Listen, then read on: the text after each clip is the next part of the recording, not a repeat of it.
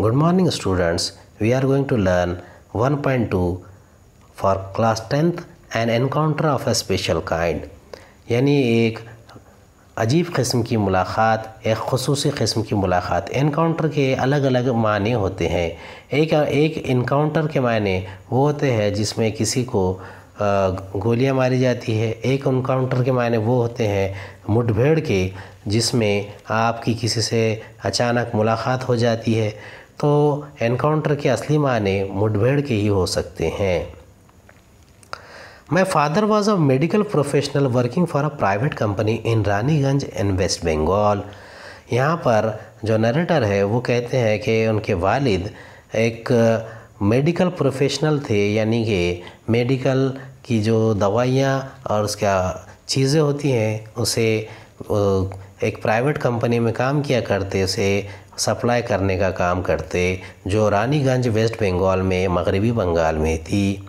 The officers of the company were housed in individual bungalows inside a large campus और जितने अफसरान थे company के, वो उन्हें सबको अलग अलग बंगलो दिए गए थे, जो एक बड़े कैंपस में मौजूद थे। और house was in a corner of the campus और हमारा जो घर था, वो कैंपस के एक किनारे पर था। The officers club was adjacent to the boundary wall of our garden officers का जो क्लब था, वो हमारे गार्डन के बाउंड्री वॉल से लगा हुआ था, मिलकर था। The compound was luxurious with green grass colourful flowers and a host of tall and majestic trees जो कंपाउंड था, वो बहुत ही ज़्यादा इशरत कदा था, ऐश इशरत से भरपूर था। वहाँ पर हरी भरी घास थी और वहाँ पर रंग बिरंगे फूल थे और बहुत ही ऊँचे ऊँचे लंबे लंबे दरख्त थे।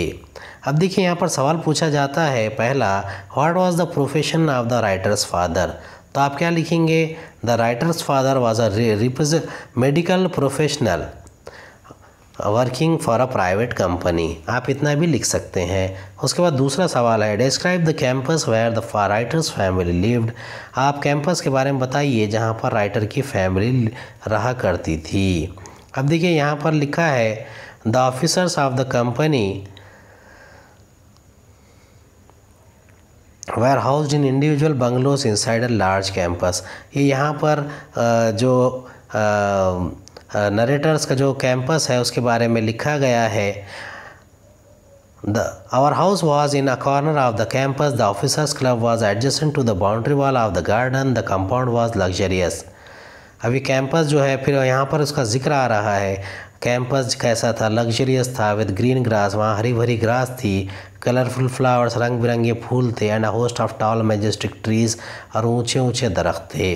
The seasonal vegetables in the kitchen garden of the house holds and the maze and the magnificent trees constantly attracted squirrels और जो मौसमी सब्ज़ियाँ थी सीजनल वेजिटेबल्स मौसम में उगाई जाने वाली सब्ज़ियाँ वो किचन गार्डन में उगा उगाया करते जितने भी वहाँ पर हाउस होल्ड थे, रहने वाले थे। And the magnificent trees constantly attracted squirrels और जो जा जो बहुत बड़े बड़े दरख्त थे वहाँ पर अक्सर गिलहरियाँ आया करती। And many species of birds और बहुत सारी परिंदों की अलग अलग किस्में प्रजातियाँ।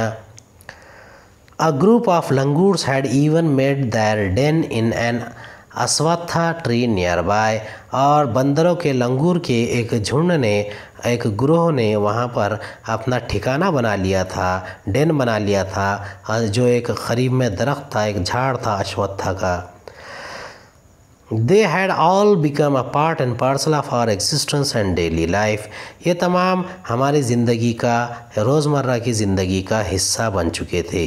अ पार्ट एंड पार्सल ये एक फ्रेज़ है। डेली लाइफ ये टू वर्ड एक साथ जुड़े हुए हैं। आप इसे कंपाउंड वर्ड भी कह सकते हैं। एग्जिस्टेंस वजूद। अब यहाँ कुछ वर्ड दिए गए हैं एनग्रॉस्ड अक्यूपाइड इन यानी कि अक्यूपाई कर लेना, किसी को घेर लेना अनफोल्डेड रिवील्ड यानी ज़ाहिर हो जाना new dimension new factor new dimension new factor नई चीज़ सामने आना हार्टी सफिशेंट एंड होलसम यानी भरपूर। A small incident on a Sunday afternoon left a profound effect on me and unfolded before my eyes a whole new dimension to the wonders of God's creation. एक छोटा सा वाक़ जो सनीचर की दोपहर में हुआ उसने मेरे जहन पर बहुत ही अच्छा असर डाला और बहुत सारी कुदरत की सन्नाइयों को मेरे सामने अजायबात को मेरे सामने खोल दिया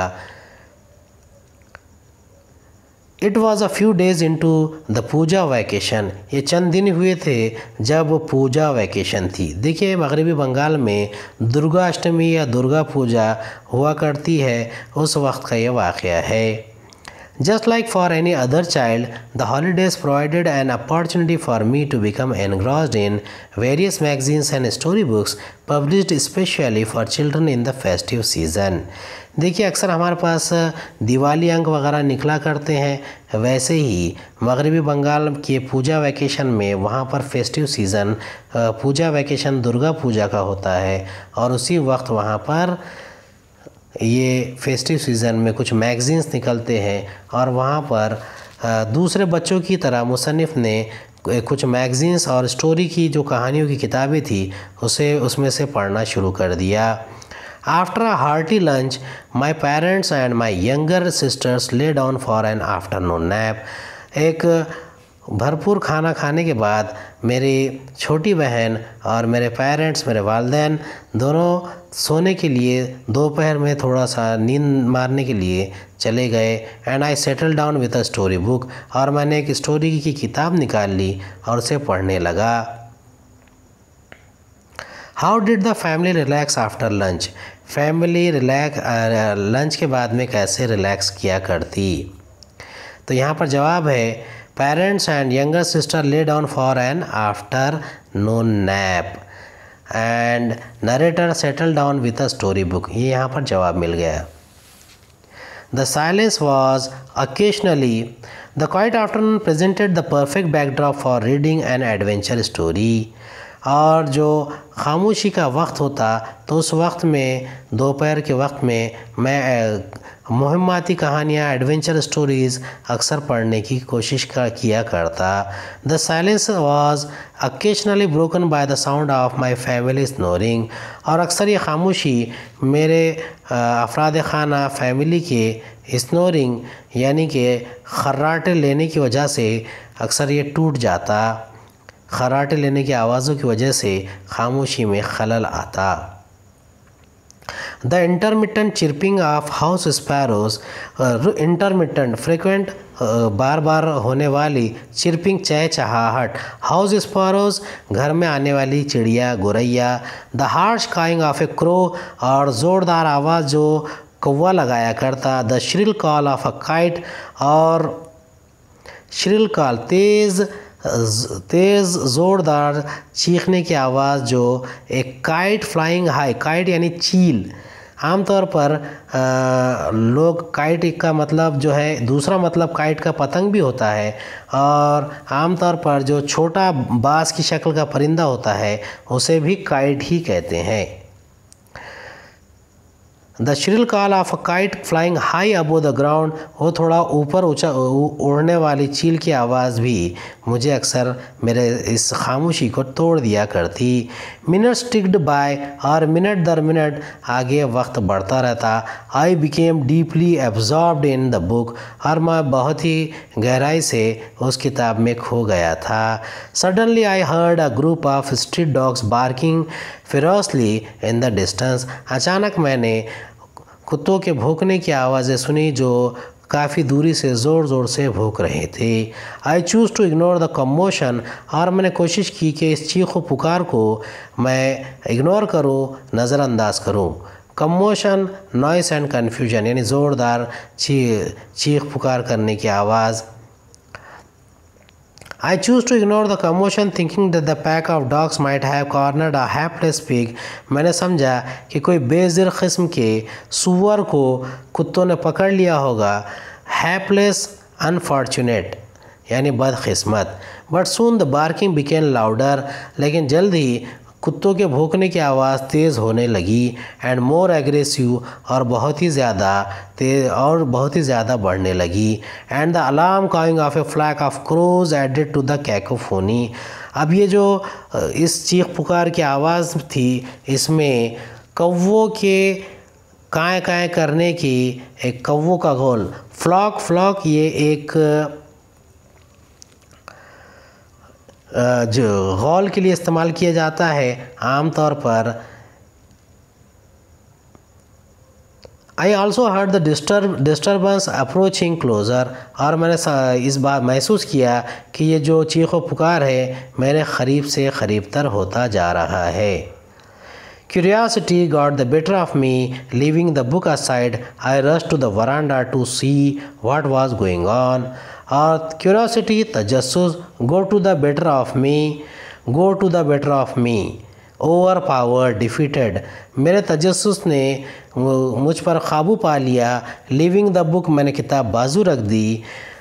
I rush to the veranda to see what was going on और मैं वरांडे की तरफ़ दौड़ा, ये देखने के लिए कि वहाँ पर क्या चीज़ हो रही है। अभी इस वीडियो को हम यहीं पर रोक देंगे और अगले वीडियो में हम इसका बकिया हिस्सा पेश करेंगे। मुझे उम्मीद है कि आपको ये वीडियो पसंद आई होगी। इसे लाइक कीजिए, शेयर कीजिए, सब्सक्राइब कीजिए और अपने कमेंट के ज़रिए हमारी हौसला अफजाई कीजिए। हमें बताइए कि हमारे वीडियो आपको अगर अच्छे लगते हैं तो हम इसी किस्म के और वीडियो बनाने की कोशिश करेंगे। तब तक के लिए गुड बाय।